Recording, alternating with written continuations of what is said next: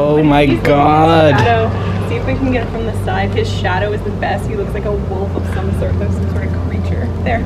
Oh, boop.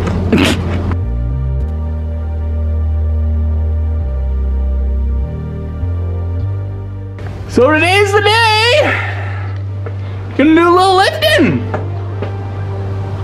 Put all this wood in. Here's our little thing. I can see this here. There you go. Yeah, see? Then we'll brace up the door. Shoop, shoop. And uh, brace the corners, top and bottom. Oh, Donage. So we'll install it right there. The beam should go right across into there. And then that one right across over to there. Mm-hmm. Gonna make some beams. So that's uh, step one. See the little guy right here. 16s, yeah. We're gonna offset the seams so they're different space. Some um, fucking sandwich in action. Take these beans, little sandwich. A little sandwich. Sandwich. I am so hungry. The sheathing on the walls provides more than enough stiffness. However, the roof doesn't have that sheathing installed in quite the same way. Uh, so I needed to, and, and the, floor, there's no, nothing on the floor providing stiffness. So in order to address that, I put these two by fours in the corner and I tag them in wherever I can, as much as I can with as many screws as I can to provide some kind of stiffness in that direction. Now I need the measurement to place the wall beam on the wall. so uh, it's two two by 10, so it's nine and a quarter inches each, plus the jack, which is five and a half inches each, for a total of 24 inches. I think I went a little extra though, just to make sure.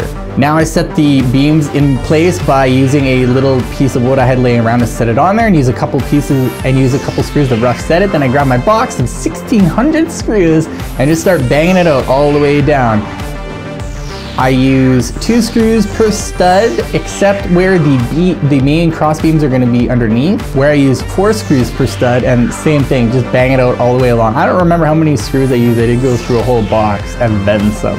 Uh, this took, I don't know, probably have a half hour to do it all, 45 minutes maybe. It wasn't even that bad. Now it's time to build the main beam. I do that by building them in place because I need to make sure that they are far enough under the sheathing and under the beam, the temporary wall beam that I installed. There'd be no way to get them in there if I built them not in place. Uh, I didn't calculate this. I knew the building would be light. I knew this would be more than enough. And I knew I would know right away if it was more than enough. And then I used little garden stakes to hold them uh, in place in the one direction and then sandwich them together all the way along. Those little garden stakes really worked wonders though for just, you know, again, one man show. You need to do these little tricks, you know, sustain that uh, soul ability to sandwich it all together. Uh, I use a ton of screws right near the jacking point near the wall because that's what I'm really worried about.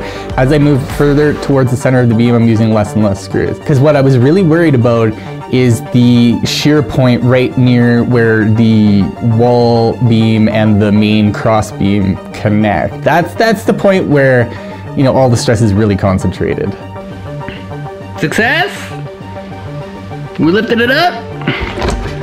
I uh, didn't get really much of an update. Uh, look at the beams. We get the beams all put together. Hey. And then on the sides, we got our 2x10s. 2x10s? Yeah, 2x10s. In. And this is plenty stiff enough. I just lifted up the whole bottom easily. I don't know, like an eighth. Oh, let's lift it up again right now.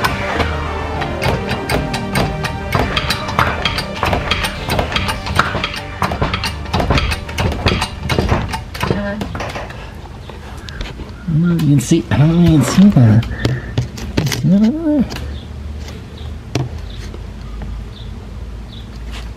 Now watch when I close it. Yeah. Now watch when I close it. Yeah. Oh, let's see this up yet.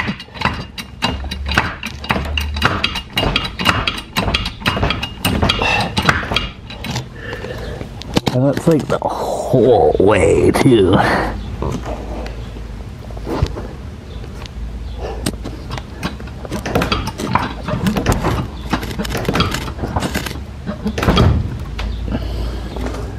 Oh, I see daylight.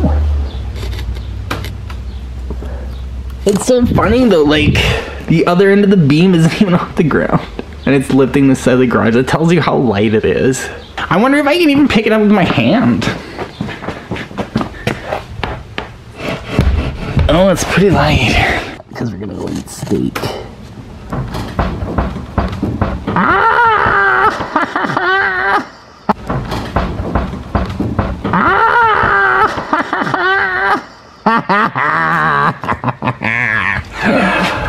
Oh my god. Oh my god. So, so pumped. Tomorrow's gonna be a big day now. Man, super pumped. This works so good. These beams, they work so good. Like the sheathing pr- provides more than enough stiffness, totally stiff. Lifted up the whole thing, dead straight. And this little setup with these little things, oh, same thing we lifted the Haas with, still just, just amazing. Kind of concludes today. I'm gonna go eat some damn steak. Some steak.